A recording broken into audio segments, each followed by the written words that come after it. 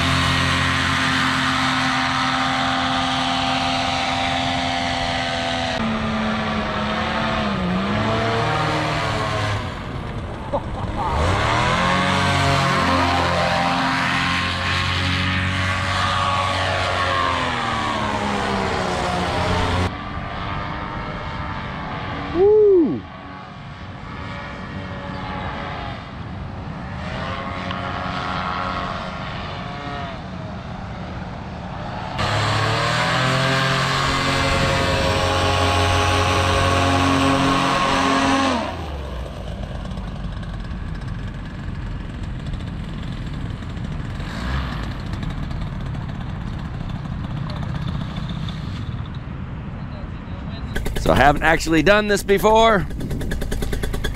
So we're gonna give it a try.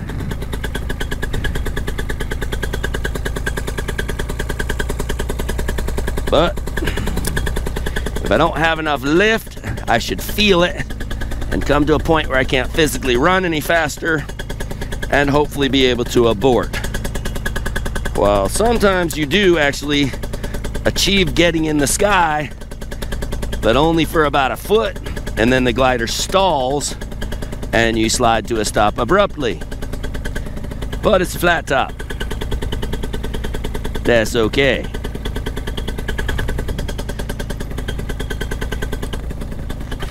Alrighty.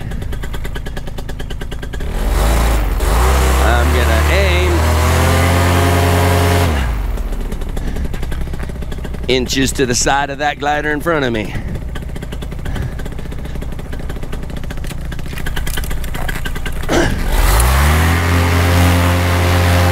backwards. Go, run. Woo-wee. And that is a real launch of a 5X in South Sand. It is quite the trick. You gotta have a really precise feel for where the optimal amount of lift and drag. You can't just bury the brakes because you just won't produce that much lift on such a small glider. And so you have to do it methodically and feel just the right amount of pressure so that you're producing the maximum amount of lift with the least amount of drag. Boy. So, can you launch a 14 square meter Dominator in nil wind on soft sand at the beach, which is even harder than a high wind launch? or excuse me, high altitude launch? Yes, you can, even if you are 51 years old. It's all in the skill level. 5XS, this glider's so freaking awesome. So now we know it allows you to launch in nil wind all the way up to super high 26, almost 30 mile an hour winds. Very, very cool. So it widens the range of the conditions that you can fly in. If all you have is some big, huge, gigantic 25 square meter, well, you are severely limited in the conditions you can fly. Where if you got a 14 square meter Dominator, you can fly pretty much whenever the freak you want in anything but horribly bad weather. You can even fly in bad weather, it just wouldn't be much fun. Check out Trace here super skills, running it out, run, run, run, slowly adding a touch of brake, just beautiful technique, very, very nice. You can see how super trained the skills transfer to the students. This is a fairly new student, super trace. Didn't learn that long ago and he just nailed it. He'll win launch on the sand with an extra, extra small. Yeah.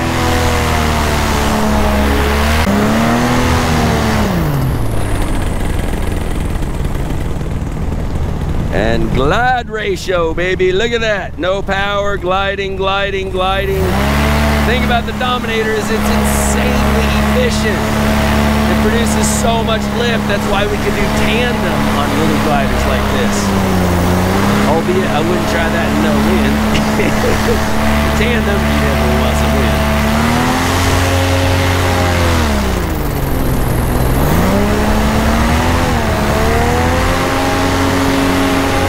Oh, he's looking at climb rate.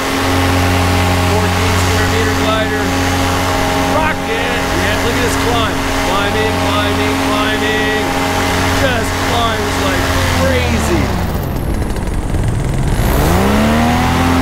200R, baby, flat top. Got the power. Best power, least weight.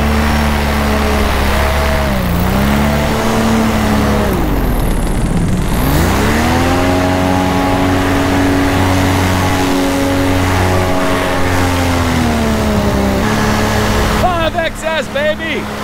That means extra, extra, extra, extra, extra small. 14 baby. Smaller the Dominator, the more loaded, the more stable, the faster, the better it handles.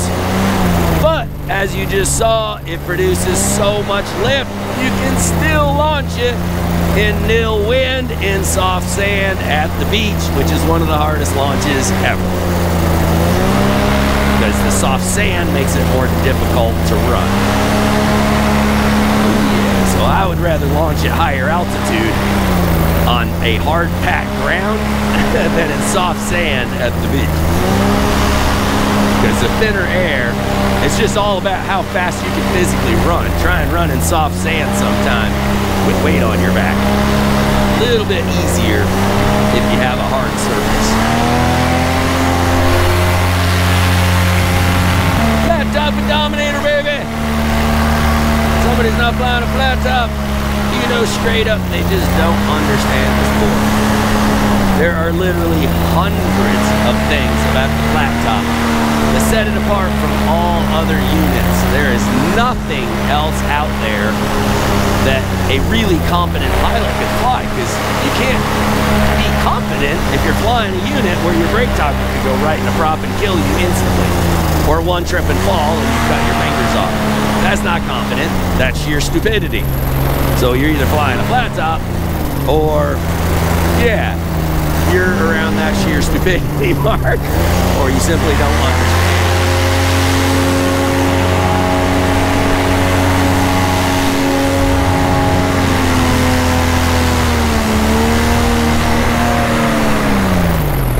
Yeah, baby.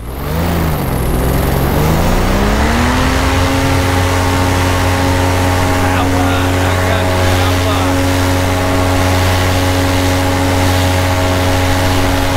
That's 200R power right there. Just cranks it out sideways. I'm literally spiraling up. Very cool. A lot of units are so gutless. If you turn hard, you don't have enough power to stay in the sky. Where if you're flying along and all of a sudden you see a power line, that's really bad. Because if you turn, you crash. Where flat top, if you see something, you throttle brake and straight up over. Woo-wee! Power, baby! Look at that climb. Here we go. Whoop. Throttle up. And on. We're at 60 feet.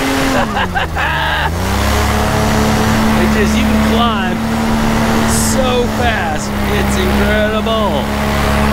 Flat top 200R, baby. That, and then of course the Dominator's a big part of that because of its efficiency. The lower the sink rate, the higher your climb rate.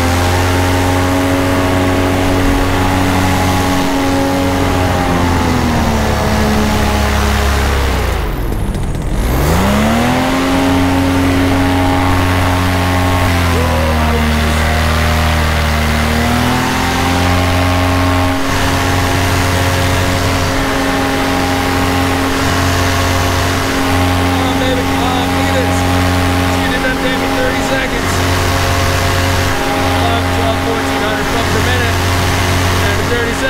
We're at six, eight hundred feet.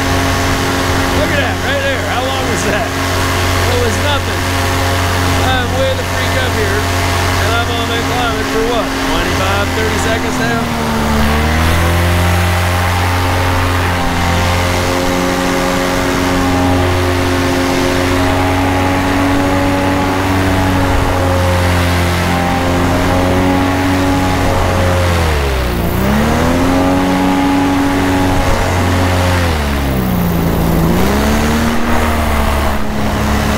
Loopy loopy loop, baby. Infinity loops. Freaking coolest glider ever with insane safety and stability. And it handles so well you can do infinity loops. That is the freaking shiz. It's yo. 5XS, but it does take skill. Don't be grabbing one of these if you're a newbie. So it's age, weight, and altitude are big factors. But big tip for the day, never choose your own gear. Have me do it. I don't even charge for my advice. You get all of that experience working for you to stack all the odds. even charge for the advice when you buy the gear. Very simplistic. So very, very important. Even if you've been flying for 10 years, it just makes logical sense to have the most experienced and skilled pilot helping you with gear selection because there's just so many things you haven't experienced yet that you don't know about. Where the super experienced guy, like me, I know exactly what's going to happen to you and how to stack those odds in your favor. So you buy the gear through me, and I can put all those factors in your favor.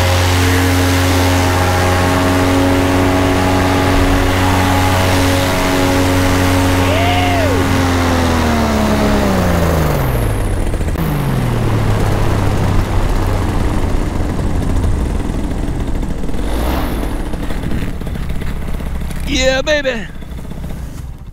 And that's a nil win landing on a 14 square meter Dominator. Piece of cake. No problem. Hoorah! This thing's so fun! yeah! Dominator, baby. Uh huh, uh huh. That's the shiznits. it never gets old. That is just seriously fun. I don't care who you are. Hoorah! Boodalade! Yay! Dude! Extra, extra, extra, extra, extra small! Nil win launch.